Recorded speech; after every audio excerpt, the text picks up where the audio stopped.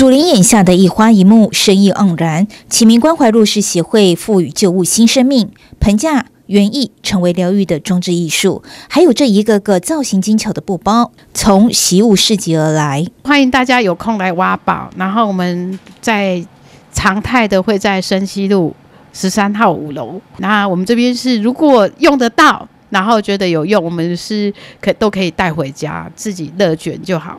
促进好物交流，同时也让妈妈们的好手艺有了展示的机会。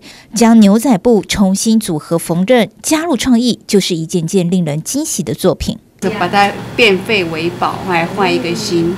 而且牛仔的是永远不会退流行。在劳动部的协助下，启明关怀弱势协会已开设系列课程，加入瑜伽运动，让现代人关照自己的身心灵。可以放松我们的颈部、肩膀、背部，然后调整我们的脊椎。借由作来带领你的呼吸。那我们创造了许多的他经济，所谓他经济是女士的她，培养我们的金用人员有第二专长，透过这个地方的一个呈现，可以让金用市的市民呃妇女们得到休憩。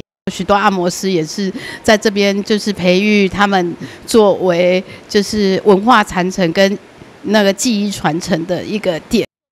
所有的课程都将开花结果。十月十四号傍晚，将在海洋广场举办盲人万花筒活动。透过盲人万花筒这个小小的视窗，我们会发现视障朋友他们其实会拥有许多不可能中的可能。就是要让大家看见不可能中的可能。协会规划动静态展演及市集，推出原邮券，从一件件作品与一场场演出中呈现共融，让您感受到友善城市的美好。记者蔡小军基隆报道。